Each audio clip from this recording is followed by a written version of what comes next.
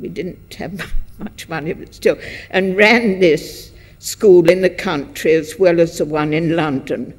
We amalgamated as much as possible. We often took a child to board if the mother was having a baby and was away in hospital, and they had the same apparatus there as they were used to in London, and it worked very well.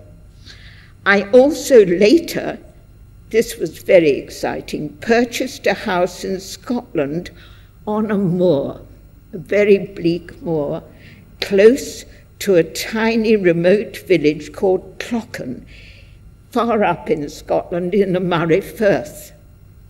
The children went there for several weeks and learnt about country life, leaving television behind. They experienced the leisured atmosphere of a village shop. It's just unbelievably different from London, where conversation is so much relished. They made their own leisure activities in the evenings and loved to help the local farmer with his sheep. We took our disabled children within their school families and we learnt to integrate them for 24 hours instead of just within school hours.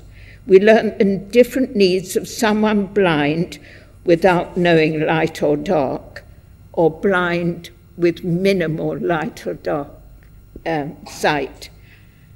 Jill came to us and she was blind from birth. It was very different from Alistair. Alistair had seen a tree. You just try to describe to a child who's been blind and never seen a tree what a tree is like. You can give a feel of a leaf, you can hold a bark, but you can't. It's very difficult to give the treeness of a tree. I learnt so much our genius level, and we often had genius level children brought specially to live in the area because they could go at their own rate.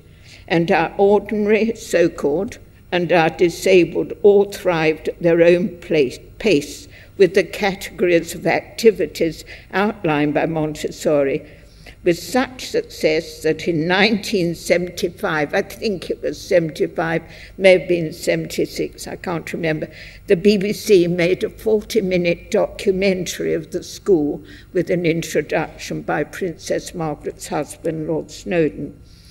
We did wonderful self produced plays in the grounds in Great Missenden, combining both the schools together. Our adolescents saw not only the stars in London, but the night skies in the country when they visited the desolate moorland. How then did we manage to incorporate Montessori's ideas of learning practical economics? This was great fun. The adolescents ran a shop, and goods could only be bought with our specially made school currency. So you couldn't just have the money.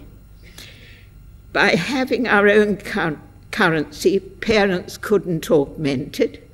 This currency had to be earned. It could be earned by doing chores around the school or the garden. A committee of students priced these jobs. The students kept proper bookkeeping. Easy jobs were paid less than the unpleasanter or harder tasks. Some students made lemonade, others cooked cakes, painted pictures, made models for the shop for sale. Any handicraft done by the children and made for the shop was also put on sale. In this way, they learnt about supply and demand and general economics in society in a sheltered way advocated by Montessori. I found that because they chose to get school currency by helping with the care of the environment, they were then very careful to see that their fellow students didn't make an unnecessary mess of what they'd cleaned. Montessori said that children of this age should have the possibility for plenty of self expression in occupations. She says in the Erdkinder that they should study literature, have choral singing, and play instruments. In listening to music, she said they should be helped to learn to recognize the composition, the composer, and the period.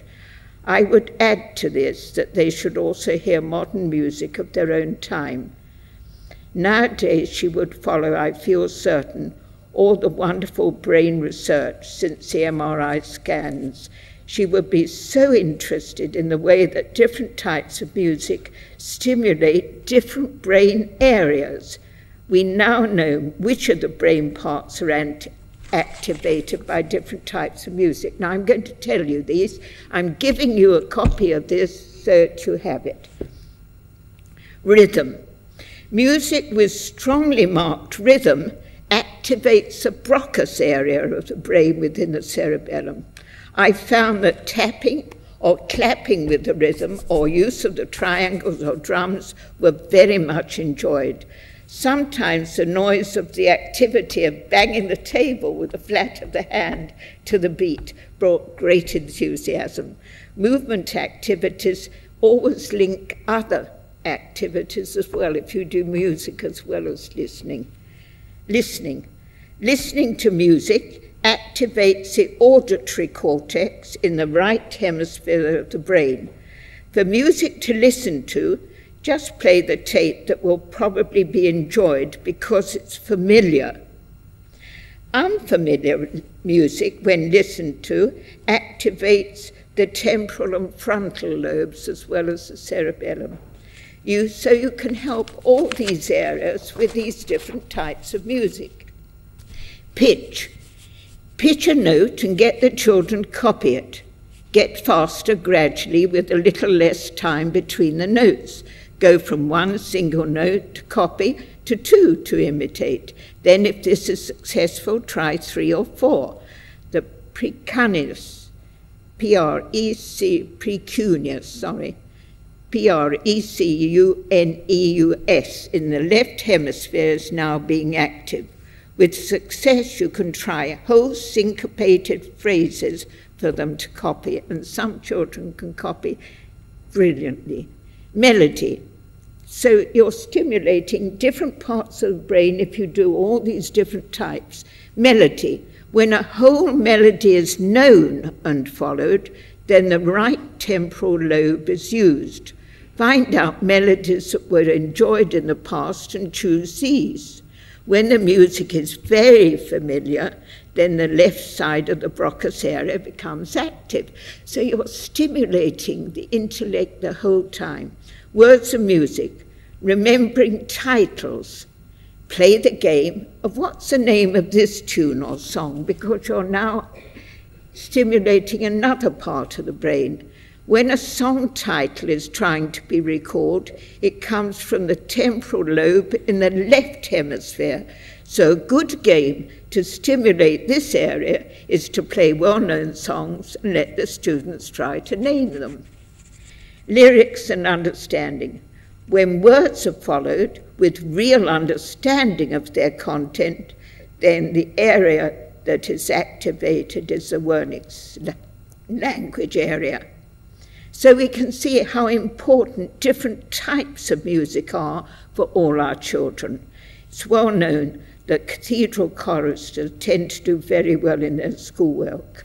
And we now know through these MRI scans why this is, so we can help our children in a new way. So that's.